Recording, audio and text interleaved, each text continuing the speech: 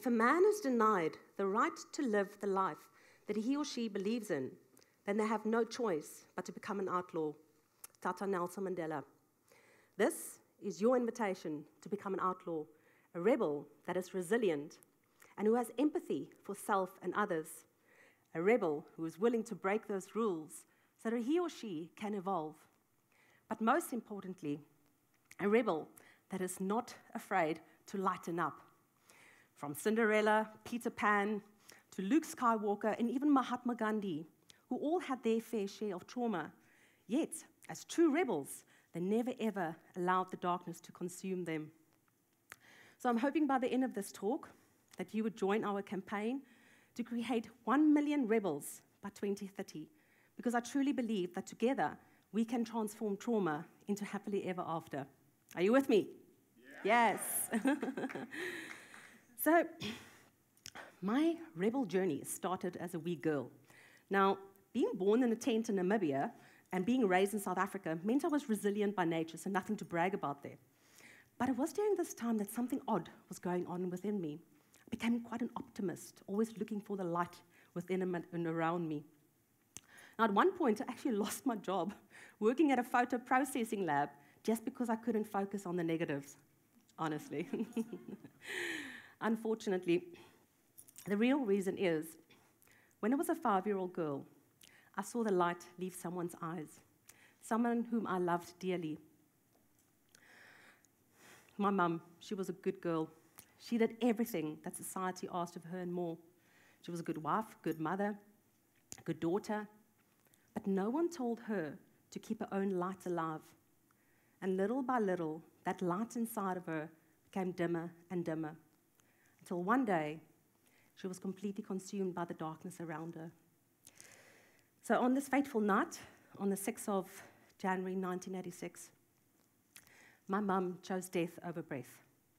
And forever her beautiful light was extinguished. And my trauma story started, which led me down a dark path of self destruction and even addiction. Now, I just want you to, to pause for a second, because perhaps you feel activated by hearing these words, or perhaps triggered by your own trauma, and I want you to know that it's okay. Whatever you're feeling, it's okay. It's okay for us to feel emotions, to feel sadness, to feel pain. And there's a quick little tool that you can use, and it's just two short little in breaths through your nose and then release. So it's and you can immediately just feel your, your nervous system feeling relaxed and um, let go. You see, the thing about trauma is it's actually a beautiful thing because it tells a story of change, evolution, transformation, whatever you want to call it. And once you've experienced a traumatic event, you'll never be the same again, right?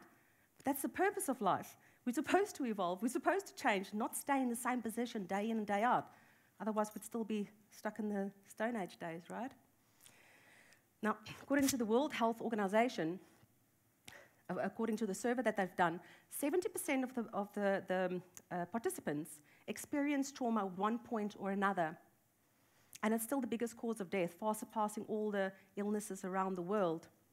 And of these traumatic deaths, 15% of them are caused by suicide.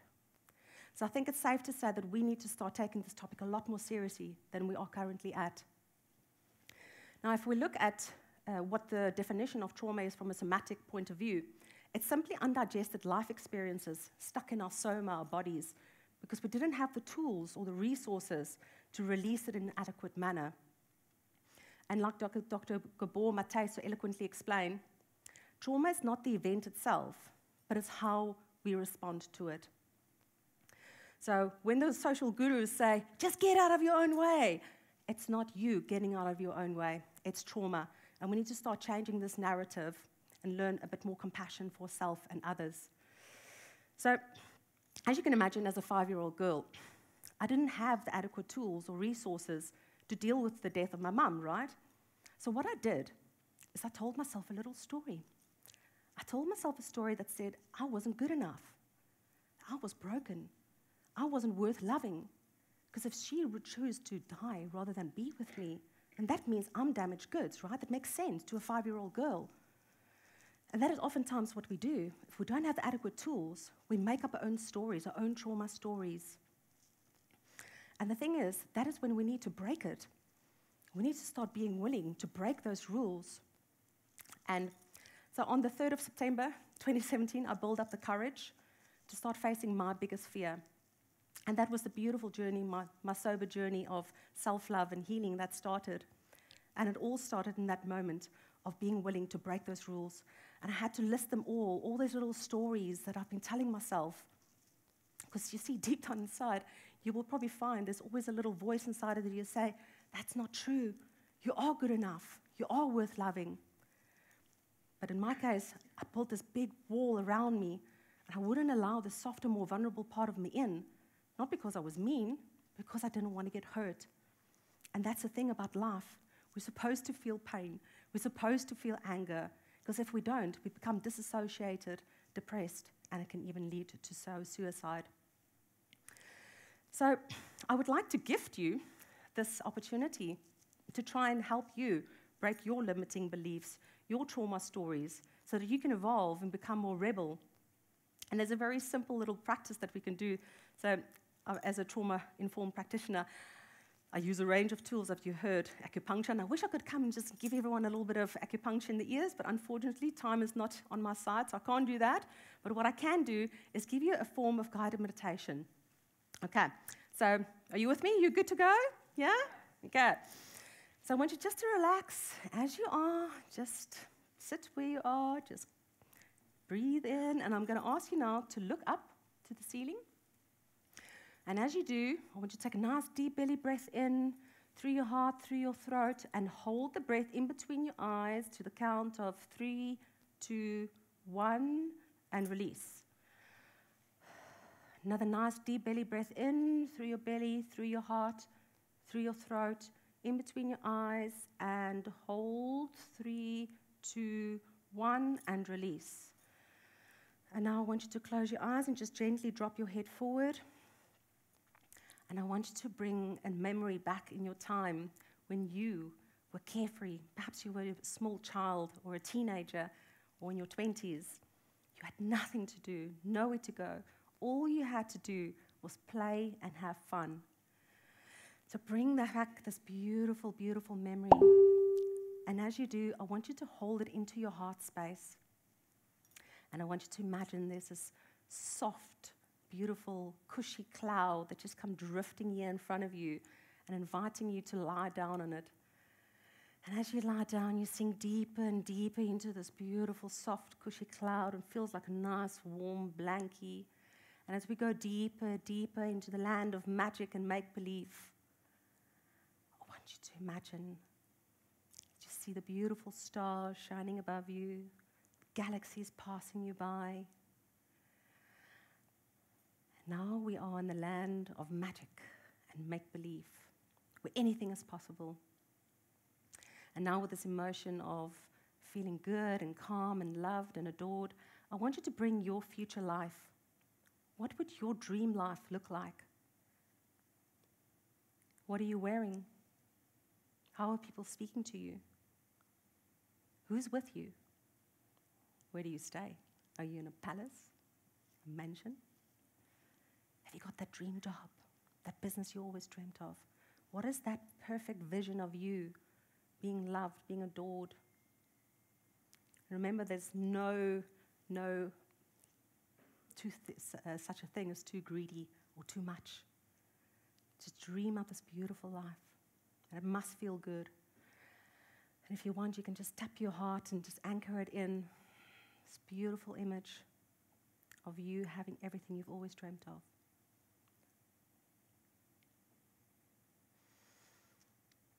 And now, I'm going to ask you to think and feel what has been holding you back. What is your trauma story standing in your way of achieving this dream life? And you know exactly what it is. And I want you now to open your eyes, and you've got a little gift bag, and there's a balloon in there, a balloon and a pen. I want you to take that out. And I want you to blow all your fears, all your limiting beliefs. I want you to blow it in this balloon. Okay.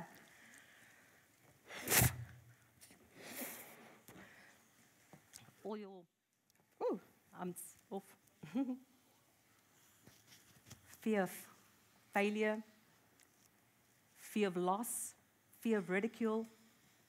Whatever your fear is, perhaps feeling too young, too old, just blow it in this balloon. Once you're done, you can tie it. And if you struggle, ask a friend, because that's what true rebels do. you ask for help. There's no such thing as too small or too big a balloon, okay? Size doesn't count in this room. okay, that's good. Oh, it looks happy, it looks like a party. now, I want you just to hold this balloon in your hand. If you haven't managed to blow it all the way, don't worry, you can just pretend that it's fully blown and look at it, okay? So just look at this balloon in your hand. And I want you to know, know that all your limiting beliefs, all your fears, all your doubts is in here, okay? It's no longer in your body, it's no longer in your thoughts, it's in here. So when you get home and I want you to go back and grab all those limiting fears and beliefs, just, it's here. Now, what do you got? A pen. What are we going to do? Puppets! Yay! Come on.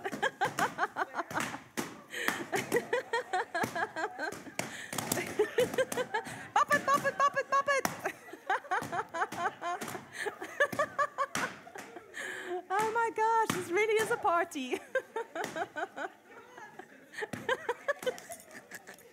well done, well done. You're such a great crowd. Thank you. Felt good, right? it's nice to hear that sound and it's just like release. Thank you. Thank you. Okay. Now, this is what you can do as many times as you want at home. There's also a piece of paper. You can write down your, um, your dream life, which I'm going to ask you now, just for the next second. So just put your papers down. And I'm going to ask you to bring back that beautiful vision of you. Okay? You remember that?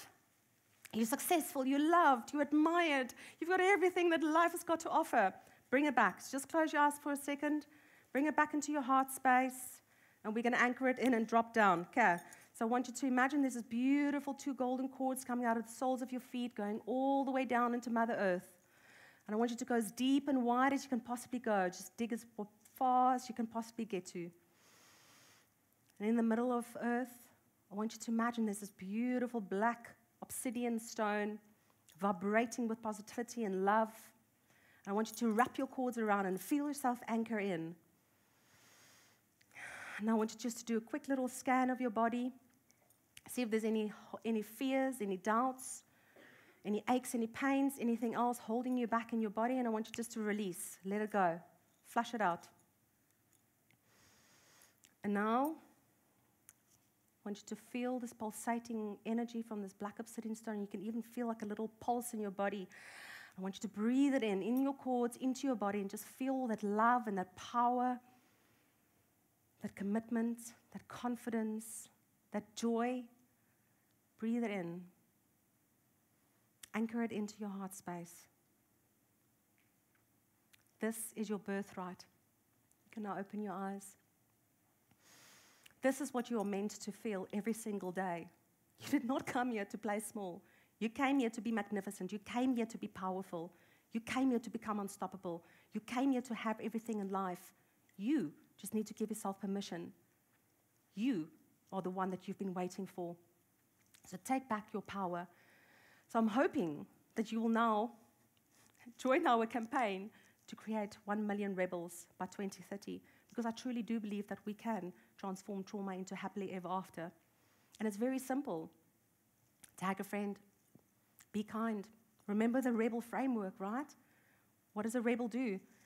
If you want to become more resilient, first thing I would do is become trauma informed. Educate yourself around what it takes, what it is, where does it come from.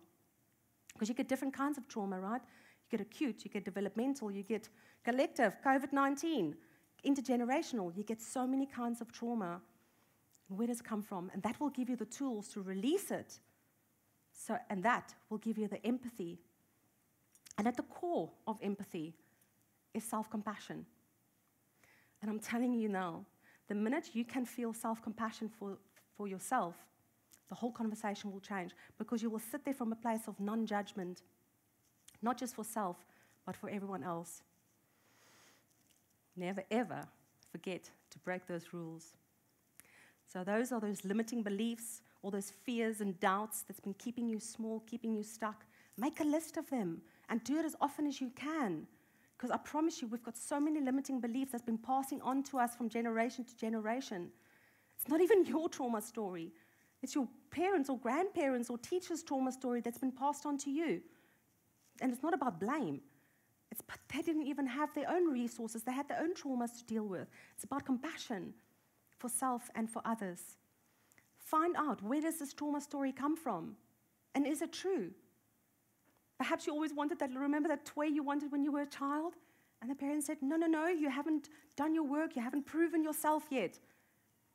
That was just another trauma story. You don't have to prove yourself to be worthy, to be loved. Just being you is enough. How do we evolve? Well, you've got, a, you've got two more things in your, in your goodie bag. Got a rubber band. I want you to put it around your wrist, and you've got a little light. Keep the other one in your hand. Rustle, rustle, rustle. okay. So now every time you've got a limiting thought, you've got a trauma story happening, I want you just to ping yourself. Okay, it's a little bit sore, but that will remind you to snap out of it. And not just snap out of yourself. This is not about being masochistic and hurting yourself, but it's about transformation. It's about reframing it. What can you say to yourself in a nicer, kinder manner? Because the only person's opinion that you should care about is your own opinion. So when you, the next time when you feel like, oh, I'm so stupid, I can't believe I did that, instead just say, I tried my best. It's the best I could do under the circumstances. And let it go. Okay? And then, my favorite, don't ever forget to lighten up. Because we all have the power to stay beautiful and vibrant and that is our birthright.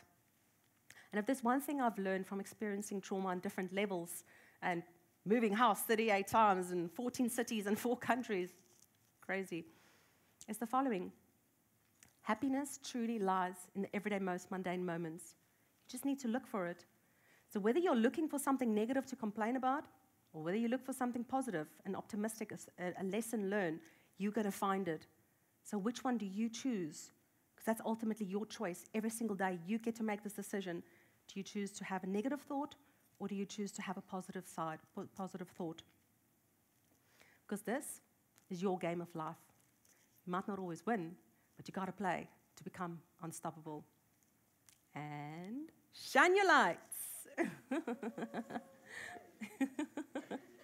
Thank you.